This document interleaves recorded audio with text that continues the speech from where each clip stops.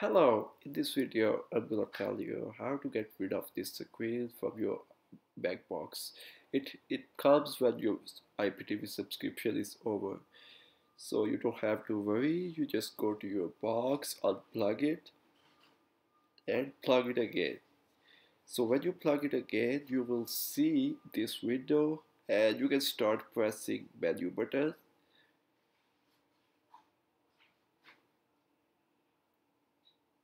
so I'm pressing menu button. Let me show you which button is the menu button because it, there is no, nothing written on the menu button.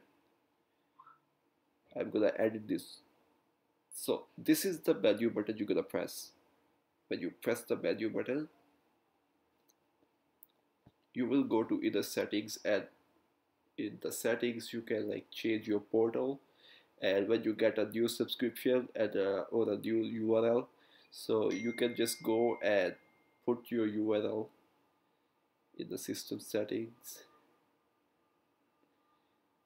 servers portals and there you can add whatever subscription you want whatever your provider provided you. So if you are looking for a subscription I would recommend to buy it from my IPTV dot store. And it's in my description as well. Thank you for so much for watching. Please give it a like